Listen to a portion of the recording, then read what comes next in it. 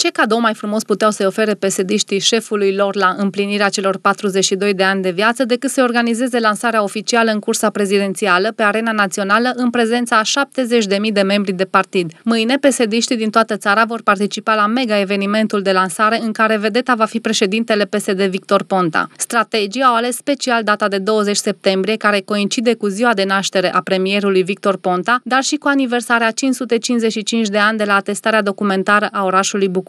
Evenimentul electoral este programat să înceapă la ora 16, iar durata acestuia va fi de aproximativ două ore. În fața unei peluze a fost instalată o scenă de pe care vor vorbi liderii PSD, candidatul Victor Ponta, dar și primarul Sorin Oprescu. Premierul Victor Ponta a vorbit pentru prima dată despre candidatura la prezidențiale după Comitetul Executiv al PSD de la Orăștie de la sfârșitul lunii iunie. La Consiliul Național de la Craiova, 29 iunie, și-a lansat candidatura, iar Congresul Extraordinar de la Alba Iulia, 12 septembrie, i-a validat candidatura.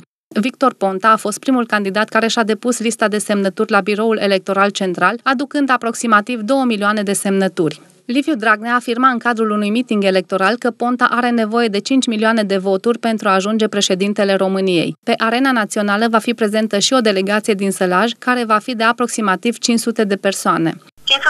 500 de delegați din partea organizației județene vor participa la lansarea candidaturii lui Victor Ponta la funcția de președinte. Pe Național Arena, din partea PSD Sălaj, vor fi prezenți toți parlamentarii, domnul senator Gheorghe Pop, domnul deputat Iuliu Nota, bineînțeles domnul președinte Tiberiu Marc, aleși locali, județeni, consilieri locali, consilieri județeni, simpatizanți PSD, membri PSD. Tot mâine își va depune oficial candidatura principalul contracandidat al lui Victor Ponta, Claus Iohannis.